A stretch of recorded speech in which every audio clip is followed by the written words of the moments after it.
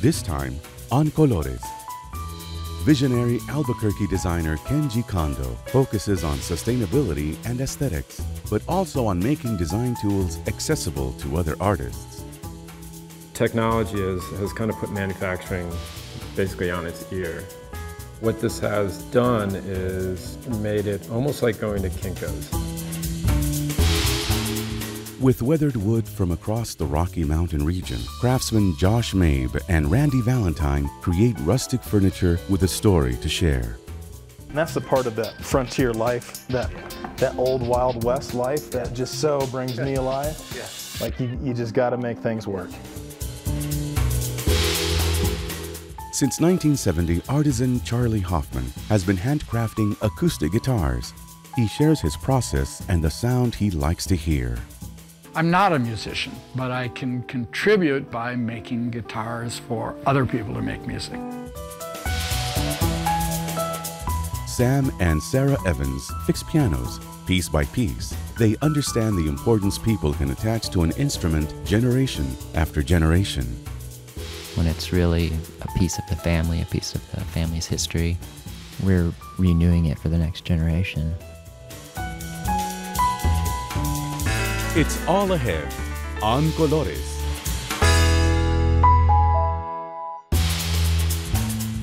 Visionary Kenji Kondo shares his thoughts on design and sustainability.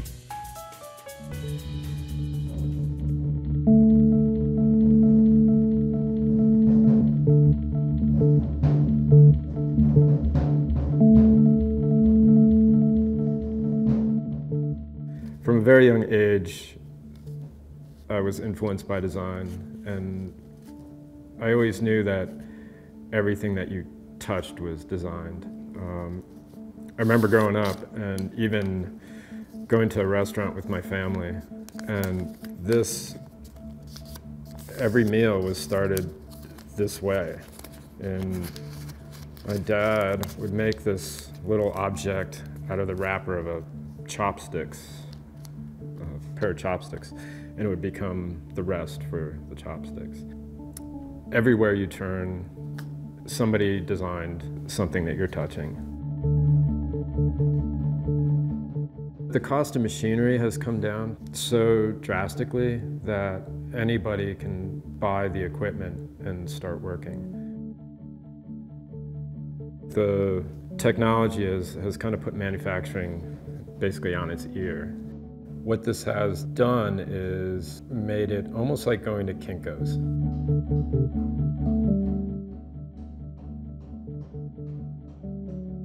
When somebody comes in and they, if they know what their, what their end product is, then obviously it's very easy. If they don't know what their end product is, all of us can help them find their end product. And not that it's any new concept industrial design houses have done it forever, uh, but it's at a much more accessible level.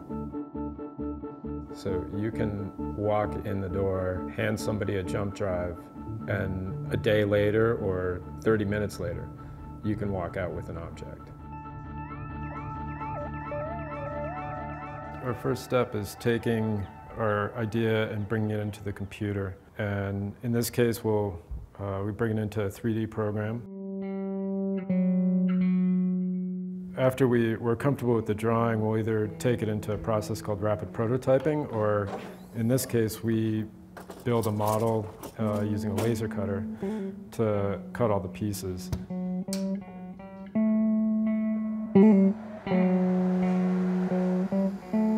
Once the fit of the model is correct, we can then take it and bring it up to full scale and we bring it onto a CNC router which cuts the parts out of plywood uh, that can then be assembled, painted, and delivered.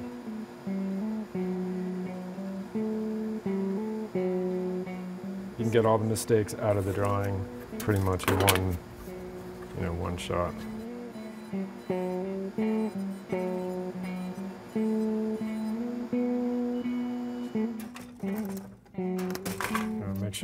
notches will, will line up and that way when it goes into the real material we now know that the fit is correct.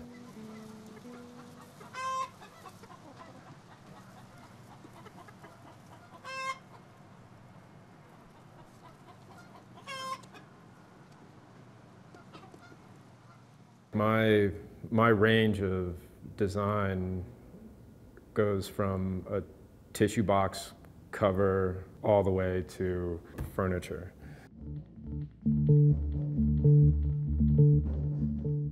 We've pretty much cut everything that you can cut in a laser or on a CNC router or a plasma cutter. One of the main reasons I started uh, looking at this avenue for manufacturing was that uh, for a long time I was on the road a tremendous amount and I had all this equipment and it was lying dormant for 50% of the year. For me, it felt like it was a, a way to have it running and give access to people. Once somebody purchases an object, it can be made quickly with just a push of a button. And at the same time, it can be made both locally and I can send that same file to Brooklyn and have it manufactured there as well. So your carbon footprint is decreased because there's no trucks involved. So that means that the manufacturing points are also saving that dollar for the consumer.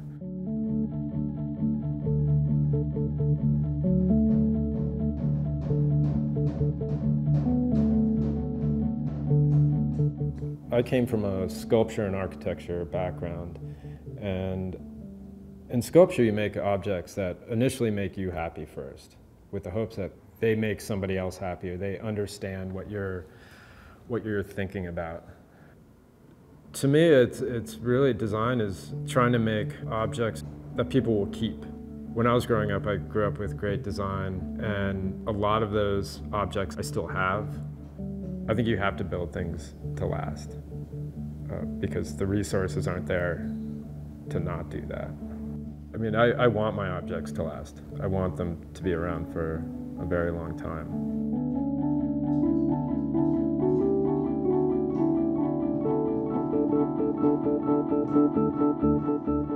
What's important in my work is that it's solid, in that people recognize it and appreciate it. I think good aesthetics uh, almost create peace in, in people.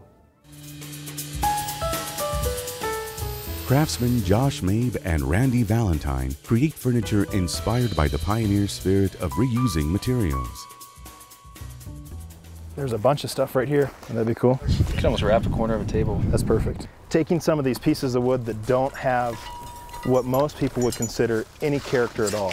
Just take a cross section of this and then marrying them with some pieces that have a tremendous amount of natural character and bring it into a story that is beautiful. That's our lives. See kind of the blues in there? Like 21.5 is actually a reference to a verse in the Bible. It's one of our favorite Bible verses. It's Revelation chapter 21 verse 5. And it's where Jesus says, behold, I make all things new. And that parallels so closely, we thought, with what we do, is we're taking something that's old and broken and beaten up, and we make it new.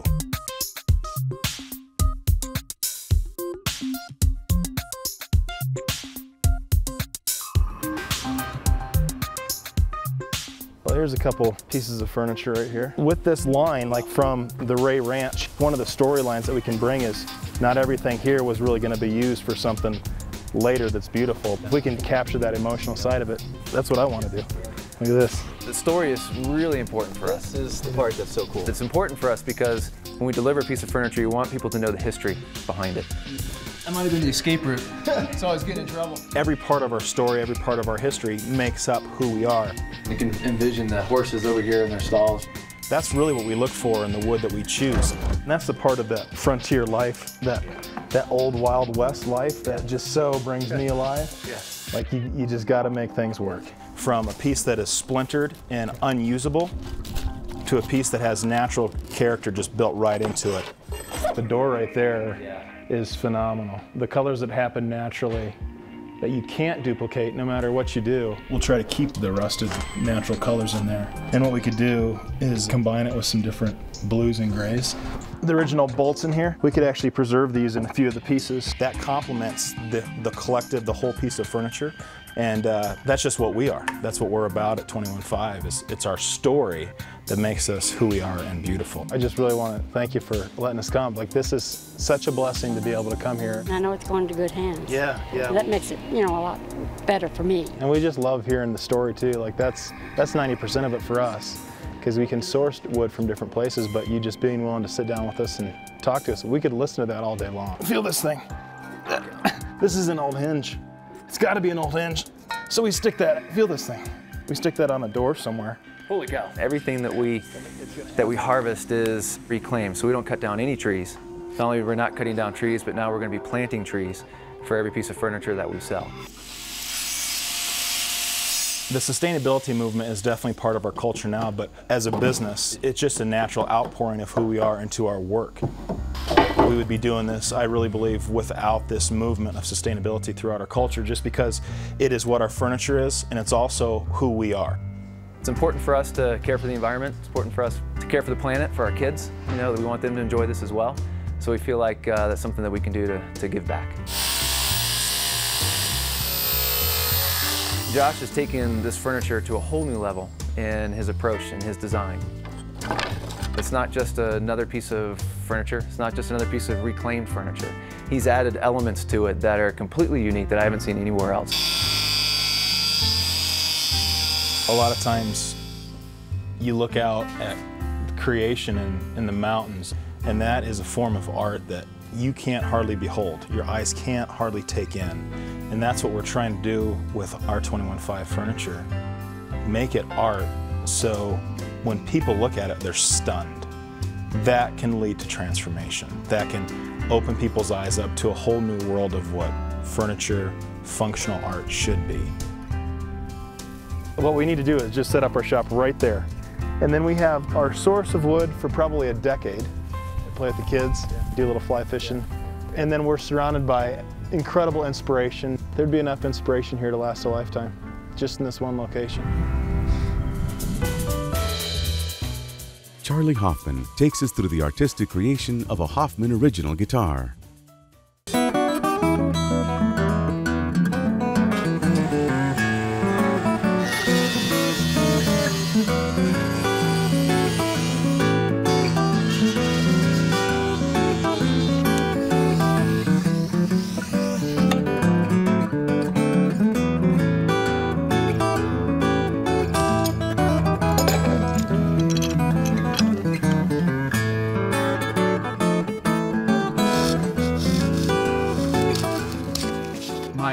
First guitar was finished in June of 1970.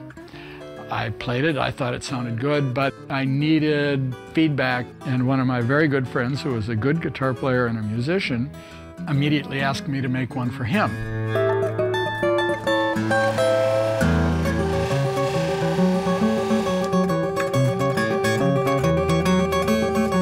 It's taken me a long time to be completely comfortable with the notion that I make really nice acoustic guitars.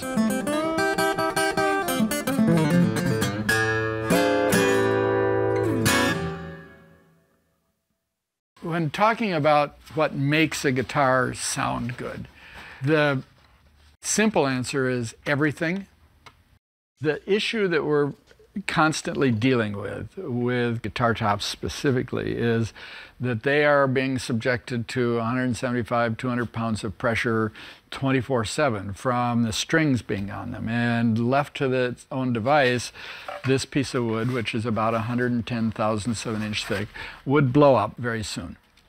So what we have to do is apply braces inside. This is called an X brace. It's actually two pieces of wood that are notched and glued together.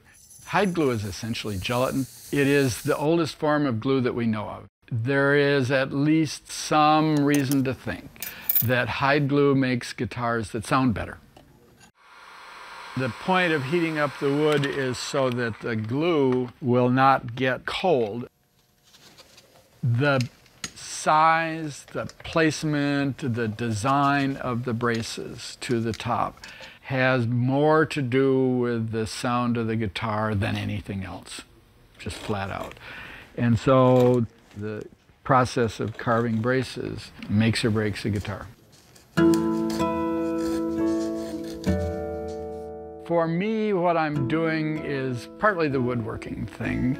It's partly that I love guitars. I think that they are artful, they are beautiful, they are fun to hold. I love the sound of them. But there's another part of it, and this may sound a little grandiose, but I really believe that music is important in this world. I'm not a musician, but I can contribute by making guitars for other people to make music.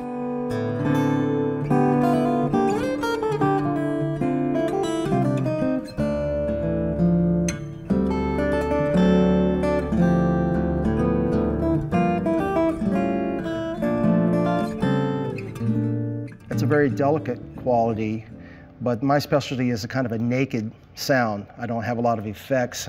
I'm just playing with just the acoustic instrument. I mean, every different guitar's got a personality, and the kind of uh, vocabulary you'll play on it uh, will spring from that kind of personality on the guitar. Now, one, the great thing about this guitar is it plays very, very well uh, everywhere. The guitars that I choose to make are ones that follow the tone that's in my head. I like guitars that tend to be very clean, not muddy, crisp, uh, have a lot of projection, power, dynamic range. That's what I like to hear. Of all the things that people ask me about building guitars, how do you bend the wood is the most common. This is Indian rosewood. I soaked it in a tray of water for a couple hours. I'm going to be clamping it to this form here, which is heated. Uh, it is currently about four or 500 degrees. The water and the heat are what make the bending work. The hard part is the starting and getting everything lined up, and then the actual bending around the jig is pretty straightforward and pretty easy. Done. There are people in this world who buy expensive guitars and hang them on the wall and look at them. And to me, that's not just the glass is half empty as, as opposed to half full, it's the glass is empty. They're supposed to make music. So I love the look of them, I love the feel of them, but if the other part of it, the making music, is not there, then somehow that guitar is being cheated. This particular piece, the bending went very well. It's, the curves are smooth with, with no kinks or anything like that.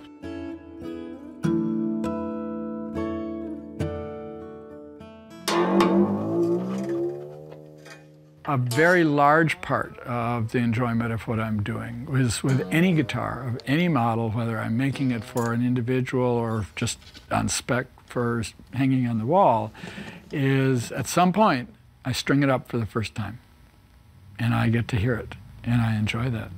And they're all different, maybe not radically different, but they're all different and it gives me pleasure to hear that.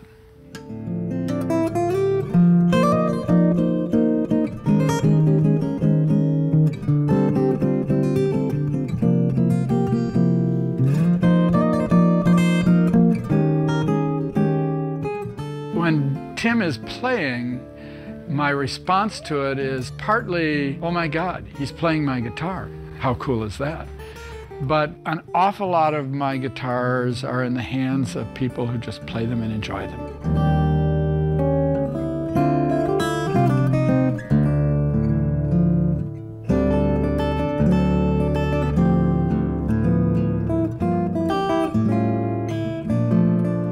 Date, I have made 602 guitars, and seeing somebody come in and pick up their new guitar and play it, and there's a light in their eyes, is very gratifying. Sam and Sarah Evans share the painstaking process of refurbishing pianos.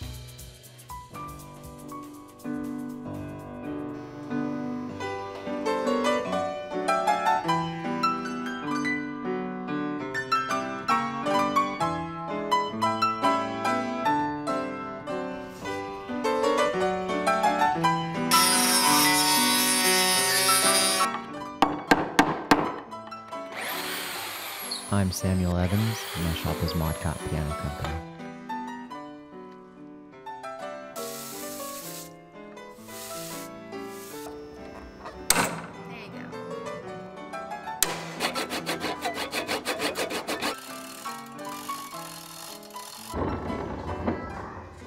most of the pianos we work on are kind of from the vintage piano category, uh, 1890s to uh, probably about 1930 is the, the majority of our work.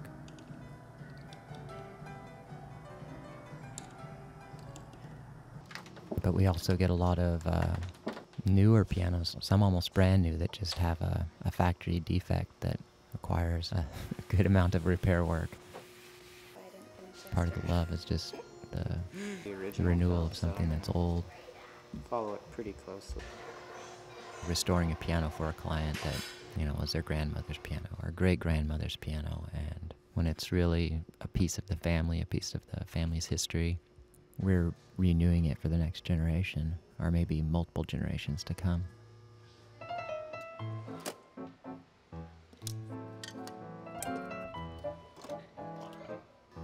I'm Sarah Evans. I get to tear down pianos a lot.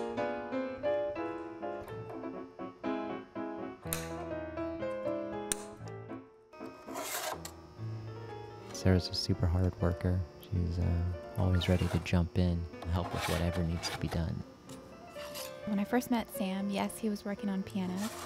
I thought it was pretty cool. Basically, my role was to come hang out with him at the shop.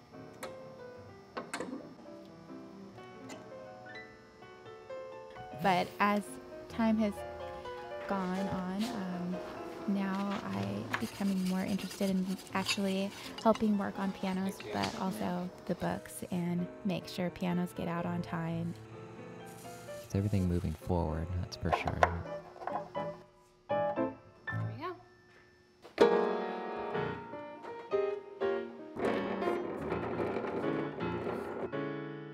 Our shop really is an industrial space, commercial space. It's uh, just a big box that we've tried to make feel like home.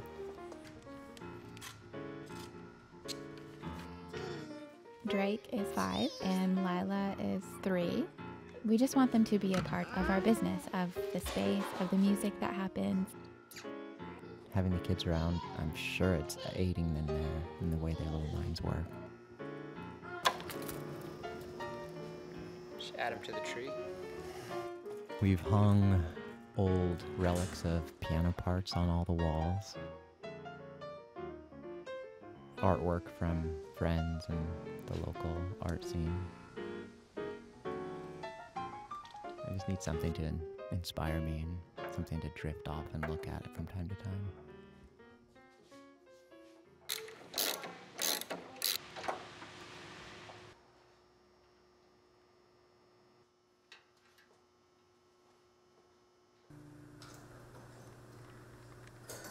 One of my first jobs was stripping the old varnish off of pianos.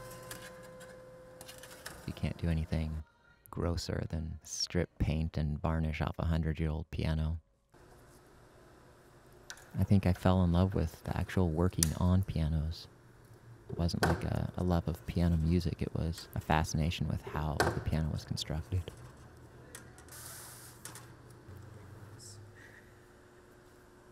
Sam is a perfectionist.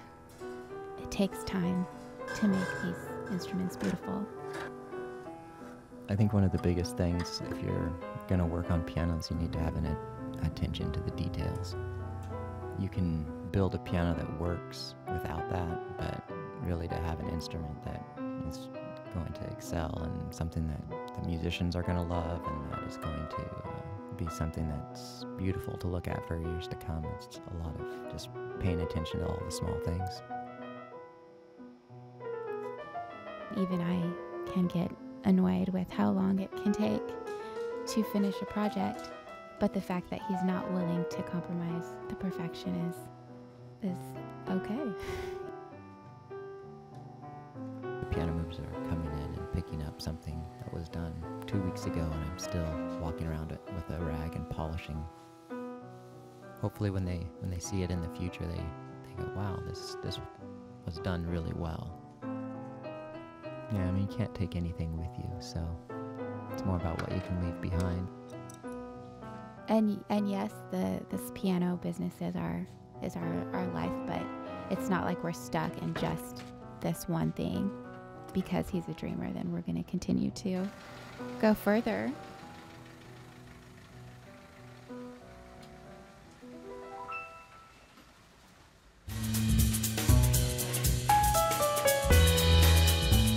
Next time on Colores. Most of all, I look to bring a, a humanity to the characters. Filmmaker Chris Eyre, winner of the Sundance Filmmakers Trophy and Audience Award, winner of Best Film at the American Indian Film Festival, shares his inspiration and creative vision. Major Ridge was always thought of as the villain. Noted sculptor, painter, and printmaker John Wilson is best known for his powerful portraits of African American men. He spent many years portraying Martin Luther King Jr. He was a man who had ideas about the world that he was trying to make other people feel and understand. We're rich. We're rich. Where did you get them? How did they get She said, Melvin. Melvin, they're not diamonds. They're a thing called rhinestones. From American Masters, Mel Brooks' Make a Noise, we get a glimpse at the funny man's childhood. Created by the Architects of Air, Illuminarium transports visitors into an exciting new world of space and light. The shapes come from uh, inspiration from nature, from plants, soap bubbles. Um, some of the inspiration comes from uh, the bazaars of Iran.